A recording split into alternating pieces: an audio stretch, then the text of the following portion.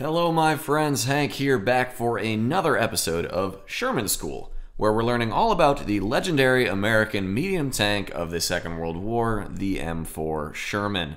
Now, the purpose of this whole series is to help you remember some crucial visual cues to look out for whenever you see reference images or archival videos of Sherman tanks that will help you identify the exact variant of the M4 that you're looking at. And today's class is a big one because, believe it or not, if you can see the rear of a Sherman tank, the engine deck or the rear silhouette, that's going to be one of your best and biggest clues for determining what kind of M4 you're looking at. So, without further ado, let's jump right into it. Sherman School Part 4 The Engine Deck and Rear Silhouette. Alright, so as you know, if you've been watching the series so far, we've been working through my HEATS system for identifying Sherman tank variants. In our last episode, we chatted all about the power plants of these various Sherman models and how these engine differences are the reason for having all these subvariant families of the Sherman, i.e., the M4, the M4A1, the M4A2, etc.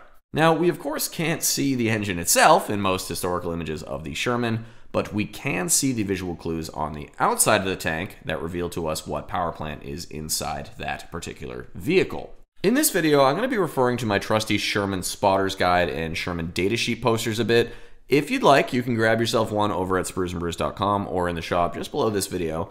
They're not required, but they can be a handy reference to have later. So let's start by looking at our rear silhouettes. As we've learned, both our M4 and M4A1 Shermans are powered by the Continental R975 radial engine. This was the original power plant that the tank was designed around. And both of these variants, the M4 and the M4A1, are going to have a rear panel silhouette that I like to refer to as the upside down U. The rear vertical portion of the upper hull is going to have this gently arcing cut just above the engine access hatches and the air cleaners. You can't miss it. These sloping cuts are only on the M4s and M4A1s. All the other variants of the Sherman are going to have sharp angled rear plates without that gentle curve. And our M4A1s, of course, have cast hulls, while the M4s have welded hulls. So if you see this upside down U rear panel with a cast hull, it is definitely an M4A1. And if you see it with a welded hull, it's definitely an M4.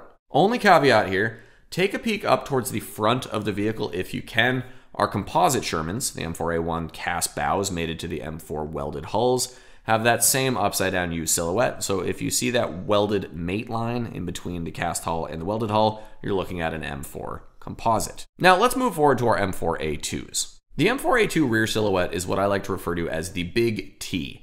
Big welded vertical plate goes up, out, up, and then angles back in to meet at the top. It looks a little bit like this. Now, I will say these little graphics that I'm using aren't 100% proportionally accurate to all the angles and such on the actual vehicle. These are just here to give you a little easy visual cue as to what these panels look like.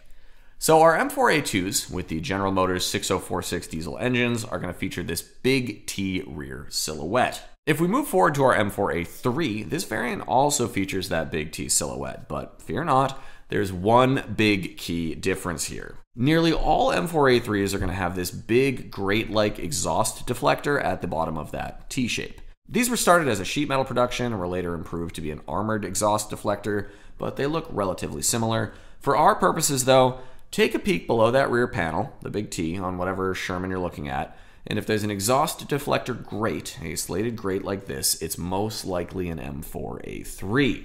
Some retrofitted M4A2s were given similar exhaust deflectors late in the war, but it's quite uncommon to see M4A2s with them in photographs. So odds are, if you see a grate on a big T rear panel, it's an M4A3. The way to know for sure? Check the markings on the tank. If it's got Commonwealth or Soviet markings, it's an M4A2. M4A3s were not shipped overseas as Lend-Lease vehicles, so if you see a big T with British markings, for example, there's your tip off. Got to be an M4A2. And finally, our M4A4 is actually a pretty easy one to spot. I call the M4A4 rear silhouette the small t because the upper portion is shaped just like everybody else, but there's just going to be this little tiny notch down at the bottom. The rear plate of the M4A4 almost goes straight across horizontally with the exception of this little jog here. Easy peasy. You see that little T and boom, guaranteed M4A4. So those are our rear silhouettes. As you can see, some pretty huge clues here. If you can see the rear of the tank, you can pretty much for certain determine at least which major variant of the Sherman you're looking at, a la the M4, the M4A1, the M4A2, the M4A3, or the M4A4.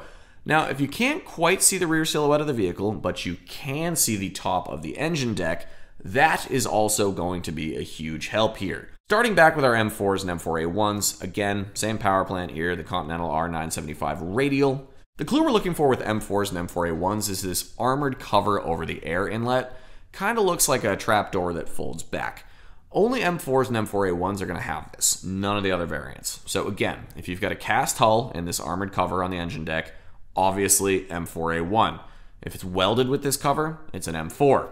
Now, the M4A2 and the M4A3 have somewhat similar engine decks, but we've got two main clues to look for that separate the two variants. Both are going to have double hatches, right? That fold up like this. The M4A2 hatches, though, they're going to be a little smaller. They fit inside that center deck panel, while the M4A3 hatches take up the whole width of that panel. Second clue, our best clue here the M4A2, our diesel powered Sherman, is going to have a set of three filler ports in the shape of a triangle on either side of the hull, just like this. The M4A3, on the other hand, is going to have a set of two filler ports with another single port in the middle. So look for that triple filler port on either side. If you can see that, it is an M4A2. And finally, our M4A4, no ventilation on the top here. Kind of stands out amongst our other variants. Big clue is going to be this raised bump, this armored bump with a filler port on top, exclusive to the M4A4. Nobody else has this little bump here. All right, so now we know how useful a shot of the engine deck or the rear silhouette of a Sherman tank can be when it comes to identifying just what variant we're looking at. For example, we look here, got the big T rear plate, exhaust deflector, US markings, that's an M4A3. Small T rear plate, gotta be an M4A4. Big T, no grate exhaust deflector, Commonwealth markings, and Commonwealth troops. M4A2. Armored intake hatch, it's got to be an M4 or an M4A1. And since we can see the cast hull bow and a welded rear hull, we know that she's an M4 composite. It's relatively simple stuff, right? So now you know. Next week, we're going to move our attention back to the front of our Sherman and check out the tank's access hatches, the A in our HEATS system, so be sure to subscribe right here to Sprues and Brews Scale Modeling so you don't miss out on that and all these other great scale modeling and World War II history videos. And until next time, my friends, be well, happy building. Cheers.